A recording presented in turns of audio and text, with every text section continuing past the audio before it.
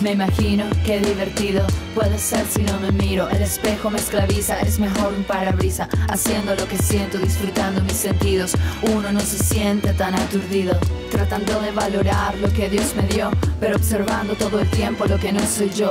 Necesito inventar otros esquemas de cómo ser mujer en esta era. Y hablando con mis amigas, no con las cifrinas, descubrimos que tenemos una mina, la imaginación, que no la encuentro en las revistas ni en la televisión.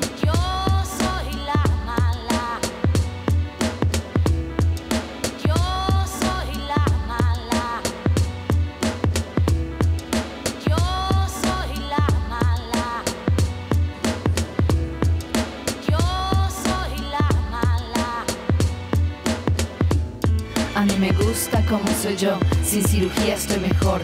No me da la gana de ponerme tacón. Soy karateca y si no entiendes lo que no quiero, yo te dejo en cueros. 90, 60, 90, no me interesa. Prefiero mis medidas a la anorexia. El maquillaje es demasiado caro. Mejor ahorro y me compro un carro. Si tienes hijos no eres profesional. Si no los tienes todos se preguntan ¿Por qué no te interesa la vida familiar?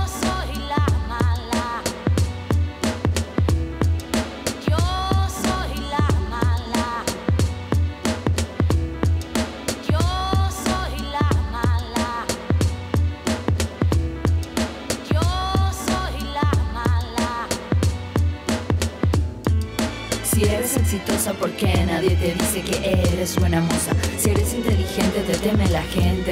Si llevas minifalda, nadie piensa que es por el calor, sino porque te buscas una violación. Y si usas pantalón, ya no eres femenina, necesitas un faldón. Si te buscas un trabajo cuando tienes 18, no te lo dan. Porque eres inmadura, pero si son 48, no te lo dan porque ya no estás tan dura.